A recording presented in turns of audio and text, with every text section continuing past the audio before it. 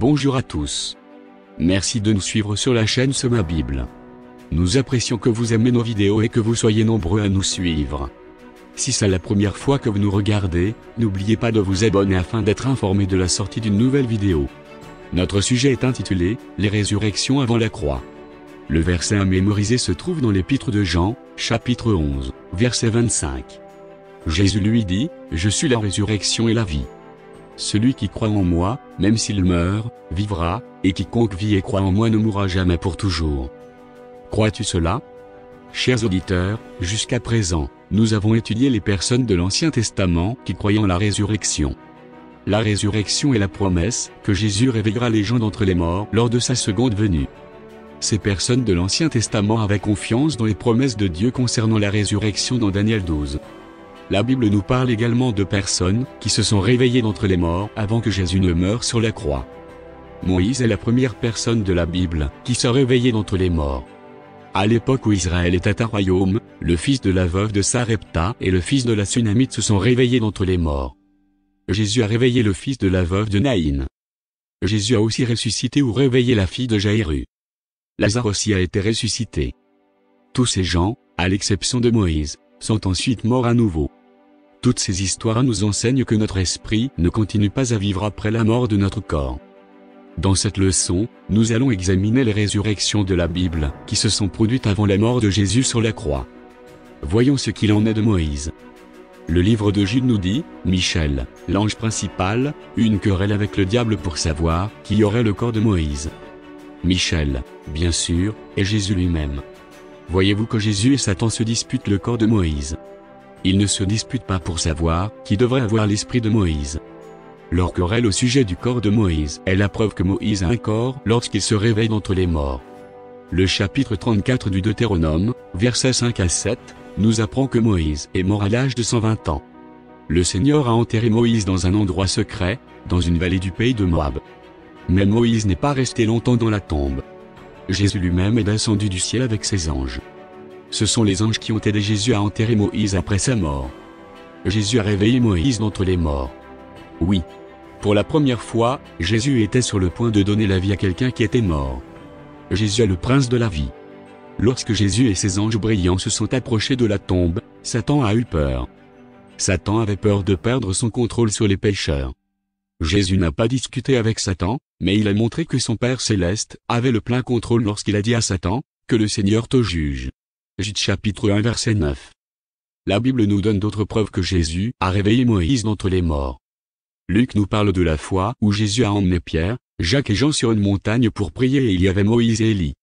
Le fait que Moïse soit là avec Jésus est la preuve que Jésus gagnera la guerre contre le péché et la mort.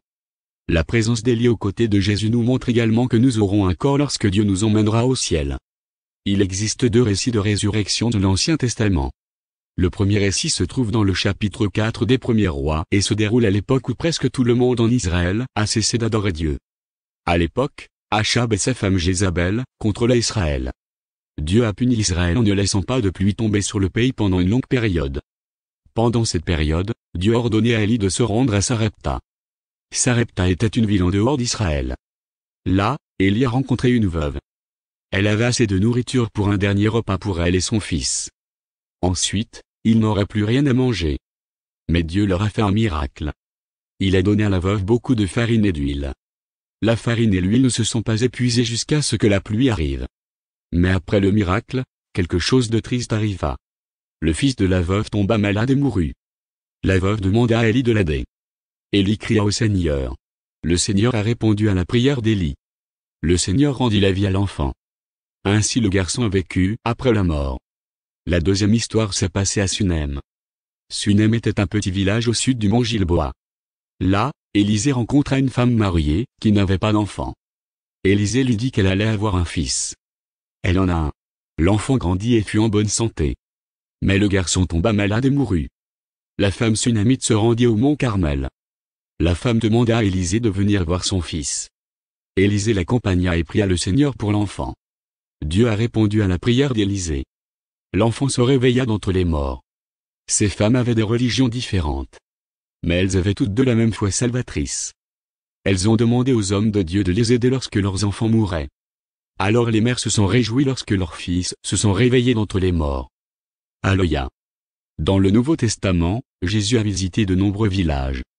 Il a guéri tous les malades qui s'y trouvaient.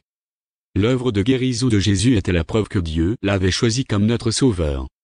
Jésus a tout fait avec l'amour et la miséricorde dans son cœur. Il s'est soucié des gens. Jésus voulait servir les gens et s'occuper de leurs besoins. Dans Luc, chapitre 7, versets 11 à 17, Jésus guérit les malades et chasse les démons des gens. Lorsque Jésus et ses disciples approchent de la ville de Naïn, ils voient une foule qui se rend à un enterrement. Certaines personnes dans la foule portaient un cadavre dans un cercueil. Le cercueil était ouvert. Le fils unique d'une veuve était couché dans le cercueil. La veuve pleurait très fort. Jésus a eu beaucoup de peine pour cette mère triste.